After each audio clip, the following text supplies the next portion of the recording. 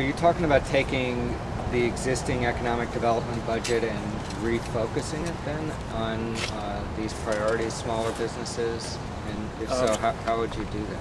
Well, it starts with a really uh, rigorous analysis of where we are and what, what kind of benefits we're getting from these programs. Uh, the legislature a couple of years ago asked the administration to develop uh, the Unified Economic Development Budget, to pull all the pieces together in one document. That's something that, that was uh, result of uh, largely of work that was done in the Economic Development Committee uh, in the Senate and the Commerce Committee uh, in the House. And uh, that's something that the administration's done. It shows that we spend about $40 million a year on various economic development efforts. Uh, but we asked for an analysis of what kind of benefit, what kind of return we're getting on that investment. And what they came back with, the administration came back with this year, was very weak. It really did not give us any guidance on how to set priorities.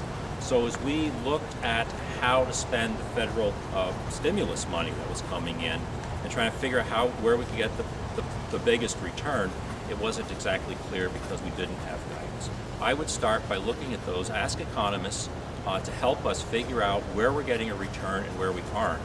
And where we are not getting maximum benefit, then we can shift some of those dollars into areas where we might get a bit more of a benefit. We don't have a lot of new dollars to spend. We went through that last year, we're going to continue to go through that. So let's make maximum use of the dollars that we already spend on economic development and job creation in the state. Do you have a sense of already, though, of broad, broadly where we're not getting a return? Uh, no, John, 40 actually I don't, because that kind of analysis simply hasn't been done. Uh, there are there there's anecdotal evidence about various uh, loan programs that we have, uh, various job creation strategies that we already have, uh, tax credits. Tax credits are probably the area where there are the most questions uh, because it's, it's trying to figure out where the job growth is going to come from as a result of a tax credit. Uh, it's hard to put objective numbers on it, becomes somewhat subjective, but we need to do that kind of analysis.